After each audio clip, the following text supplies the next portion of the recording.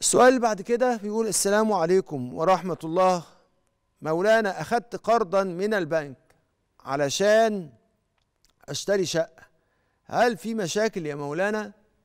إذا كنت أنت أخدت المال ده كله وكتبت في الورقة آه، أوراق أوراق الحصول على المال اللي أنت حصلت عليه من البنك اللي هو أنت سميته قرض هيبقى دوت شكل من أشكال التمويل ويبقى ده جائز.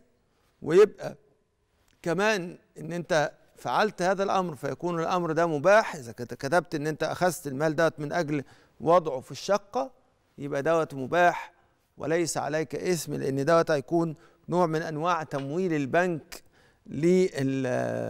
لشراء الشقة. لأن ودوت خلاص بقى لازم يتكتب في الوثائق اللي موجودة في وثيقة أخذ المال من البنك على سبيل آه هذا التمويل. فيبقى دوت لو أخذت المال وحطيته كله لما أخذت المال كله أخذت المال بقى اللي من أجل الشقة ورحت واخد المال كله وحطيته في في الشقة هيكون ده جائز وليس حراما لأنه من قبيل التمويل وليس من قبيل القرض. الذي يجر نفعا فيكون ربا. السؤال اللي بعد كده وإحنا عندنا ثلاث حاجات.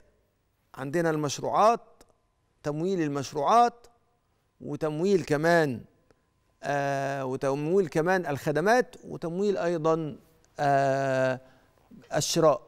يبقى تمويل الشراء وتمويل الخدمة وتمويل كمان المشروعات.